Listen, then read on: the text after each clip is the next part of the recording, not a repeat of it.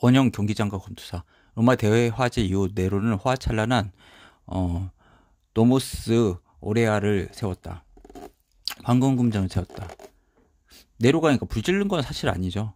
불을 끄라고 명령을 했고 고향이 있었고 이제 그게 오해를 받은 거죠. 이건 뭐 네로가 나쁜 인간이 돼야 베드로가 올라가기 때문에 거꾸로 매달린 것처럼 그 사기극이 되기 때문에 그걸 한 거죠. 그게 바로 영화 쿠오바디스라는 사기 사기극의 실체입니다.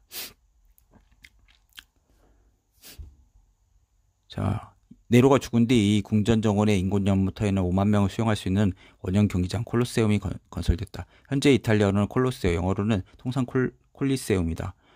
로마에는 몇 개의 원형 경기장이 있었지만 관객이 늘어남에 따라 더 큰 시설이 필요해졌다.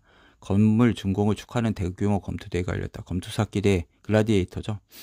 싸움 위에도 검투사, 맹수와 사, 사토 그리고 어마어마한 물을 가둬놓은 뒤에 펼친 모의 회전 등 100일 동안 펼쳤다. 그 콜로세움에서 해전을 실제로 연습을 했다고 하더라고요. 싸우는 것처럼.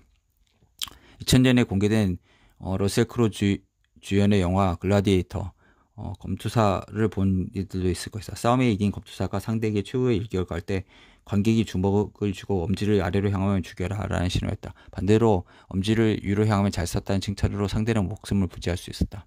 아까 언론 재판이 인민 재판이 이루어지는 거죠. 영어로는 썸스 다운이 부결을 썸스업이 찬성을 뜻하는데 이 표현은 여기서 생겼다. 지금도 오케이 의미로 엄지를 위로 향하고 틀렸다는 경우는 아래로 향하며 때로는 야유까지 보내기도 한다. 이 표현은 현재 비즈니스에도 사용되겠다. 예를 들어서 The project has got the thumbs up은 어, 이 프로젝트 계획은 승인되었다는 말이다. 반대로 our proposal got the thumbs down이라고 하면 우리의 제안은 부결되었다는 뜻이다.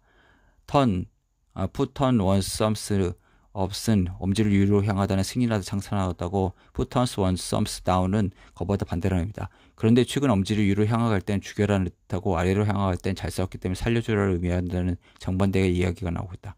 만약 이것이 사실이라면 영어 표현도 바뀌어야 되는 것일까?